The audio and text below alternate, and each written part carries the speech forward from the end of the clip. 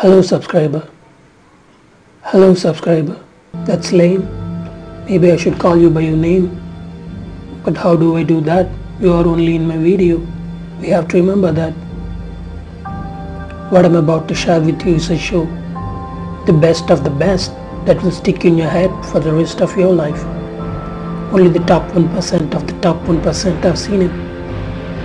Now follow me tight because I'm to talk about it.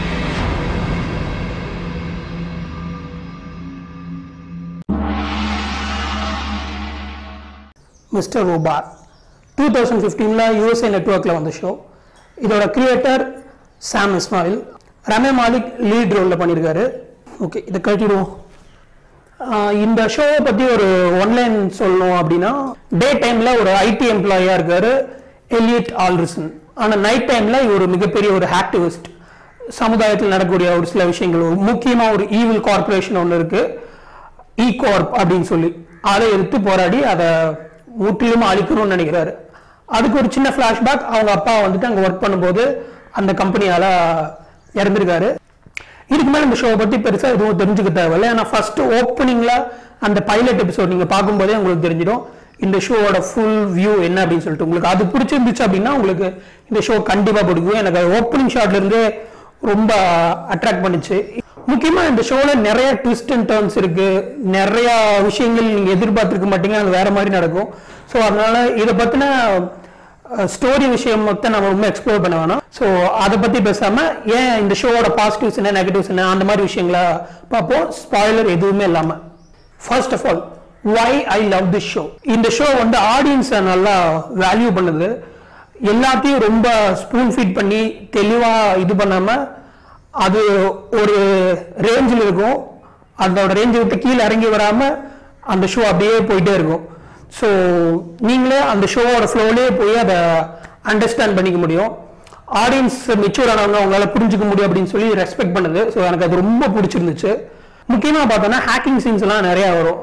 அது real லைஃப்ல எப்படி hack பண்ணுவாங்களோ அதே மாதிரி ரிவ்யூ பண்ணியிருக்காங்க இப்போ நமக்கெல்லாம் ஹேக்கிங் பற்றி தெரியாது. நமக்கெல்லாம் கோடிங் பற்றி தெரியாதுன்றதுனால எல்லாத்தையும் ரொம்ப சிம்பிளாக எக்ஸ்பிளைன் பண்ணாமல் ஒரு லைஃப்ல ஒரு ஹேக்கர் ஒருத்தர் இருக்கா அப்படின்னா அவன் எப்படி இருப்பானோ அதே மாதிரி தான் ஷோ போகும்.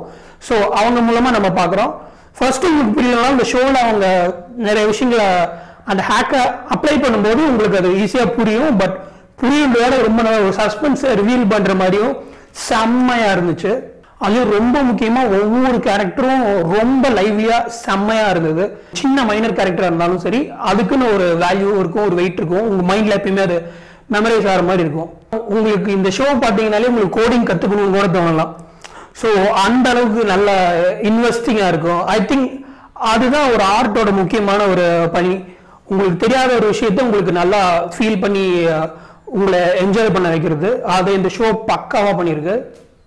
அதுவும் இந்த ஷோவில் நிறையா ரியல் லைஃப் பாலிடிக்ஸ் எல்லா விஷயத்தையும் இதுக்குள்ள டீல் பண்ணுது. முக்கியமாக ட்ரம்ப்பு ஸ்டீவ் ஜாப்ஸ் எல்லாம் கூட பங்கமாக கலாச்சிருக்காங்க எப்படிதான் எல்லாம் பண்ணுறாங்கன்னு தெரியல. செம்மையாக இருந்தது ஒவ்வொன்றும் ஃபேக்காக ஆர்டிஃபிஷியலாக திணிச்ச மாதிரி இல்லாமல் இதோட ஃப்ளோக்கு கரெக்டாக இருக்க மாதிரி இருந்துச்சு. இப்போ பாசிட்டிவ்ஸ் பார்ப்போம். எதுக்காக நீங்கள் இந்த ஷோ பார்க்கணும் அப்படின்னு சொல்லிட்டு. இந்த ஷோ வந்து ஆல்ரெடி ஓவர் மொத்தம் நாலு எபிசோட் ஒரு சீசனில் பத்து எபிசோடுன்ற மாதிரி இருக்கும். ஸோ நீங்கள் பார்த்து பாதியில் ஷோ நின்று கேன்சல் ஆனால் அந்த மாதிரிலாம் ப்ராப்ளம் இல்லை. ஸோ ஆல்ரெடி முடிச்ச ஷோ நீங்கள் அதனால் இதை கண்டிப்பாக பார்க்கலாம். இது நல்ல ஒரு நல்ல பட்ஜெட்டில் பண்ணியிருக்காங்க செம்ம த்ரில்லிங்காக எங்கேயும் காம்ப்ரமைஸ் ஆகாமல் சூப்பராக பண்ணியிருக்காங்க உங்களுக்கு ஃபர்ஸ்ட் எபிசோடு பிடிச்சிருந்தா போதும். அதுக்கப்புறம் ஃபர்ஸ்ட் சீசன் அப்படியே போகும். செகண்ட் சீசன் தேர்ட் சீசன் போக போக அடுத்த ஒரு சீசன் செம்மையாக போயிட்டே இருக்கும். அது முக்கியமாக இதோட ரைட்டிங் ரொம்ப சூப்பராக பண்ணியிருக்காங்க எல்லாமே இன்டர் கனெக்டடாக முதல்ல சொன்ன ஒரு விஷயம் ரொம்ப லேட்டராக ரிவீல் ஆகும். அது என்ன ஏது அப்படின்றது. ஒவ்வொரு கேரக்டரையும் நல்லா திங்க் பண்ணி அதுவும் முக்கியமாக பார்த்தீங்கன்னா அவங்களோட பாயிண்ட் ஆஃப் வியூல இருந்து நம்ம பார்க்க முடியும். ஸோ நம்ம முன்னாடி பார்த்த மாதிரி நமக்காக எதையும் டோன் டவுன் பண்ணி ரொம்ப குறைச்சி சப்பையாக்காமல் அதோட வேல்யூ ரொம்ப செம்மையாக இருக்கும். நிறைய விஷயங்கள் நமக்கு ஒரு பல இடங்களில் புரியாமல் கூட போகலாம். பட் அதுவே நீங்கள் அந்த விஷயத்தை கற்றுக்கிறதுக்கு உங்களுக்கு ஒரு இன்ஸ்பிரேஷன் கூட இருக்கும். அது என்னன்னு சொல்லி நீங்கள் யூ மைட் லுக் அப் அதோட பின்னாடி இருக்க விஷயங்கள் உங்களுக்கு தெரிய வரலாம்.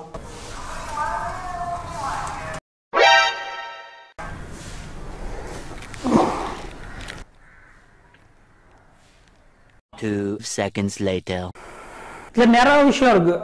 ஹேக்கிங் பத்தி ஹியூமன் எமோஷன்ஸ் பற்றி முக்கியமாக ரொம்ப முக்கியமாக மென்டல் ஹெல்த்தை பற்றி சோஷியல் ரெவல்யூஷன்ஸ் பற்றி நிறையா சர்வியல் எலமெண்ட்ஸ் கூட இருக்குது உங்களுக்கு ஃபில்ம் மேக்கிங் இன்ட்ரெஸ்ட் இருந்துச்சுன்னா கண்டிப்பாக நீங்கள் இந்த ஷோ பார்த்தே ஆகணும். நிறையா கேமராவில் அந்த ரூல் ஆஃப் தேர்ட்ஸ் எல்லாம் செம்மையாக மேனிபுலேட் பண்ணி சூப்பராக பண்ணியிருப்பாங்க நிறையா மூமெண்ட்ஸ் வரும். ஷிட் ஜஸ்ட் கட் ரியல் அப்படின்ற மாதிரி. அதெல்லாம் உண்மையிலே நீங்கள் அங்கே இருக்கிற மாதிரி இருக்கும். சூப்பராக பண்ணியிருந்துருப்பாங்க எப்படி இந்த ஷார்ட்டில் எடுத்தாங்க? நிறையா கொஷின் பண்ணுற மாதிரி இருக்கும். மியூசிக் செம்மையாக அந்த டோனோட சூப்பராக போகிற மாதிரி ஒரு சில இடத்துல நல்லா கலாய்க்கிற மாதிரி சட்டேரிக்கலாகவும் சில எலமெண்ட்ஸ் எல்லாம் இருக்கும். அதுவும் ஒரு சில எபிசோட்ஸ் பார்த்தீங்கன்னா ரொம்ப எக்ஸ்பெரிமெண்டலாக இருக்கும். திடீர்னு ஏதோ வேற ஏதோ ஒரு வேர்ல்டுக்குள்ள குதிச்ச மாதிரி. அப்புறம் அது லைட்டாக அப்படியே ரிவீல் ஆகும். அது நல்ல ஒரு ஜேர்னியாக இருக்கும். நிறைய விஷயம் புதுசாக பார்க்குற மாதிரி. இது நீங்கள் பார்க்கும்போது தமிழ் சினிமாவில் கூட நிறையா இதுலேருந்து இன்ஸ்பயர் ஆகிருக்கு அதெல்லாம் கூட உங்களுக்கு தெரிய வரலாம். நெகட்டிவ்னு பார்த்தோம்னா இதில் இருக்கக்கூடிய சர்வே எலமெண்ட்ஸ் மேபி உங்களுக்கு அது பிடிக்காம போகலாம் இல்லை உங்களுக்கு இரிட்டேட்டடாக கூட நீங்கள் ஃபீல் பண்ணலாம். சொல்ல போனால் இந்த ஷோவோட ஹைலைட்டே அதுதான். அது உங்களுக்கு ஒர்க் ஆச்சுன்னா இது ஒர்க் அவுட் ஆகும். ரொம்ப முக்கியமாக எனக்கு பட்டது நிறைய விஷயங்கள் இங்கே கொஞ்சம் வயலன்ஸு கொஞ்சம் செக்ஷுவாலிட்டி எல்லாம் கொஞ்சம் ஒரு ஷாக் வேல்யூக்காக நிறைய இடத்துல யூஸ் பண்ண மாதிரி இருந்தது.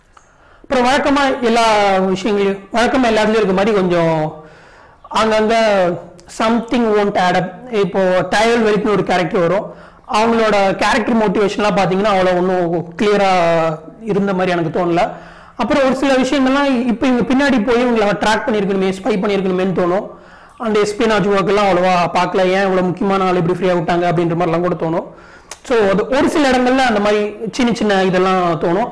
ஓகே ஃபைனலாக இதுக்கு வேர்டிக்ட் என்ன அப்படின்னு பார்த்தோன்னா இட்ஸ் அ ஹிடன் ஜெம் வித்தியாசமாக ஏதாவது பார்க்கணும்னு நினச்சிங்கன்னா கண்டிப்பாக அதை பாருங்க. யூ வில் லவ் இட் முக்கியமாக பார்த்தீங்கன்னா ஒரு பத்து எபிசோட் இருக்குன்னு வச்சுக்கோங்களேன் ஒரு சீசனில் நாலுலேருந்து ஒரு ஆறு எபிசோட் எக்ஸ்ட்ரா நிறையா இருக்கும் டிஃப்ரெண்ட்டாக இருக்கும்.